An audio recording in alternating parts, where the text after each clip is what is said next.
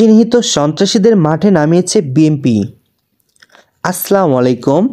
চিহ্নিত সন্ত্রাসীদের মাঠে নামিয়েছে বিএনপি। কাদের? সাধারণ সম্পাদক এবং সড়ক পরিবহন ও সেতু মন্ত্রণালয়ের মন্ত্রী অবায়দুল কাদের বিএনপির মহাসচিব মির্জা ফখরুল ইসলাম আলমগীরের বক্তব্যের নিন্দা ও প্রতিবাদ জানিয়েছেন। বৃহস্পতিবার এক বিবৃতিতে অবায়দুল কাদের বলেন, দেশের জনগণ ভালো করেই জানে তারা কোথায় আছেন আর বিএনপির আমলে কোথায় ছিলেন। গত এক যুগেরও বেশি সময় ধরে শেখ হাসিনার সময় উপযোগী সিদ্ধান্তের কারণে অর্থ সামাজিক সব ক্ষেত্রে বাংলাদেশ আজ এক মজবুত ভিতের উপর দাঁড়িয়ে আছে।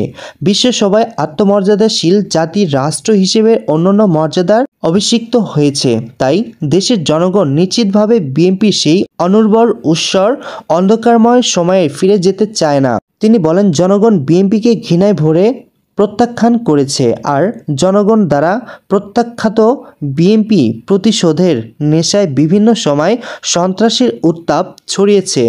আমরা সেই সন্ত্রাসের উত্তাপ থেকে জনগণকে নিরাপত্তা দেওয়ার চেষ্টা করছি, দূরে রাখার চেষ্টা করছি। বিবৃতিতে আওয়ামী লীগ সাধারণ সম্পাদক বলেন, মির্জা ফখরুল ইসলাম আলমগীর নিজেই বলেছেন, তাদের সমাবেশে শান্তিপূর্ণ হয়েছে।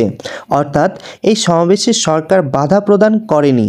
সরকার শুধু সতর্ক ছিল, এই সুযোগে বিএনপি যেন সন্ত্রাসী কর্মকাণ্ড না করতে পারে। বিএনপি এদের সন্ত্রাসের রাজত্ব কায়েমের জন্য আবারও চিহ্নিত সন্ত্রাসীদের মাঠে নামিয়েছে। আইনশৃঙ্খলা বাহিনীর সুনির্দিষ্ট তথ্যর ভিত্তিতে সেসব সন্ত্রাসীর বিরুদ্ধে ব্যবস্থা নিচ্ছে। সরকার কোরা বিরুদ্ধে মিথ্যা মামলা দেওয়া হয়েছে। সরকার কারও বিরুদ্ধে মিথ্যা মামলা দায়ের করছে না। বিবৃতিতে তিনি বলেন, স্বাভাবিক অবস্থায় জনগণকে শান্তি ও নিরাপত্তা দেওয়ার সরকার প্রধানতম দায়িত্ব।